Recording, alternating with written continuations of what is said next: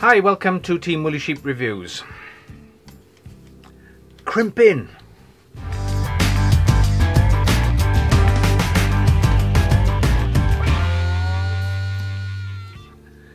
You want to make your own leads up? You want to buy a crimper? You need a crimper? There's different crimpers. Oh my god, what crimpers do I need to buy? What is a crimp? This is a strip of crimps. Right, so each one of these is a crimp. They're held together on a on a strip of metal which you snap one off. So when you want to use a crimp, you basically snap one off. Very small, but what you'll see is there's channels. So when you look at it, there's a U section.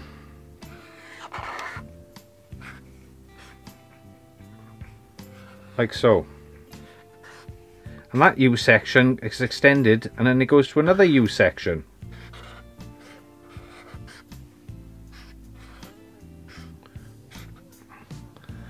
And then the actual connection, depending on what type of crimp, that crimp is a is a male pin. So that's the actual going to make the connection. This is where the wire goes. Now you'll see these wings are designed to wrap around the cable. But when you bare the cable, you only bare a couple of millimeters. So this is like a zoomed in version now. So say there's the cable and I'll I'll do it such. So there's the PVC insulation of the cable and there's the strands which you've exposed of copper. So that PVC will go into this area and these will go into that area. And when they crimp, they will actually crimp like that. Like a little heart. So the cable will be trapped. And the same with the wire, they, they will crimp down onto the wire. So the, the strands of the wire will be in there and these crimps come down. And it actually forms a, a circle and comes in on itself. So, so the reason that there's two, this holds the installation, the PVC, the outer sheath, and that does actually the electrical connection there, not there. So how to do that then? Well these jaws have got different sizes to suit the different size crimps. You haven't got to get, do anything complicated to measure it. What you can do, you can offer up the crimp in, into the until you find it fits into one quite snugly. Obviously you, are looking at the, the, the recess and you hold it lightly and then you what you'll do is put the the wire in and squeeze it. Better for me to show you isn't it? So like I said you find out which one is fits in best and you hold it lightly and then you introduce the wire into the crimp. Like I said they do there's two two crimps you're going to do with this particular type. There's two crimps, one for the wire and one for the insulation and they will be different sizes because obviously the wire is thinner without the insulation. So you just offer it up, put the wire in, and the crimp is ready, and all I do is squeeze it. When I look at that joint now, you'll see that the, the wire, the insulation has not been crimped, only the wire. And you'll see that it's actually, like I said, it crimps in onto the wire like that and traps the wire. So the crimp is, starts off like that and as you squeeze the crimper it, it forces the, the, the, wings around and then they come in crimp into the wire. So they hold in the wire gripped in like that. So it's a good idea to sometimes twist the cable as well. So as it comes in it, it grabs multiple strands. And then you need to do the the outer wing which is the insulation. So you find the one that best fits the insulation and you do the same hopefully we'll be able to see it actually crimped into the wire into the PVC. Right, so this this crimper, it's got lots of lots of different options for different sizes, but you have to do them one at a time, which is okay. This this is actually a ridiculously expensive set of crimpers. There's no power, there's no ratchet, it is literally just you your strength of your hands. They're very small plugs, they don't need a big compressive power. So this is made in Japan, very good quality, very expensive. They've got interchangeable jaws, so you can change the jaws and actually for different sizes. These are called engineer crimpers. So if you want to do really, really fine plugs, and you've got steady hands, you could use this quite comfortably to do it. They're very small plugs. So they've got this one. Now this one's got lots of power, lots of things. It's got a ratchet action. But this one is is different. And it's different because you can see the thickness of these jaws is a lot, lot bigger.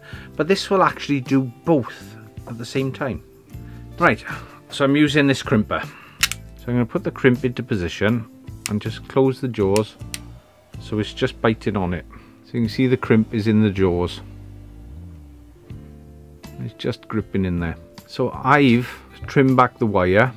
I'm giving it about 3 mil. I'm going to position the wire into the crimp.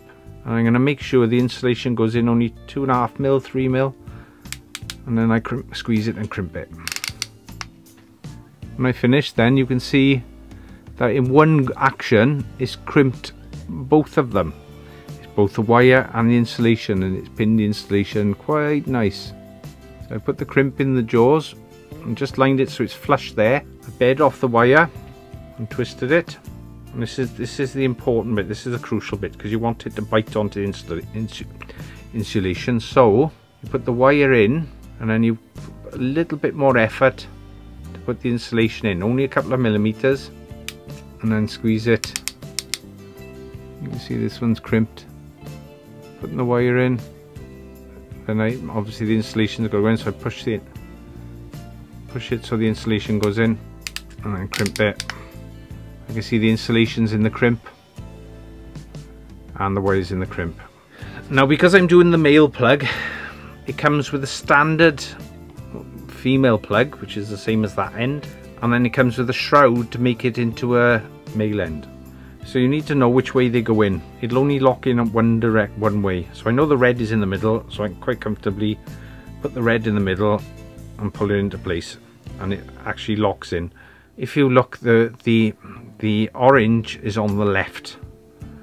So if I if I put the orange on the left the same and the brown on the right then now it's the same as that but obviously it's the the male version and then to finish it finish it off there's a shroud that clips on now these are, are a bit tricky because they only go on one way so you've got to have a look to see which way the, the lock is. There's a little lock inside which you can't quite see. And I know that's right now. So that is making a servo plug up.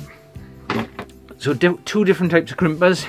If I said this was a hundred pounds and this was 20 pounds, would you go out and spend 100 pound to have that? Or would you buy that?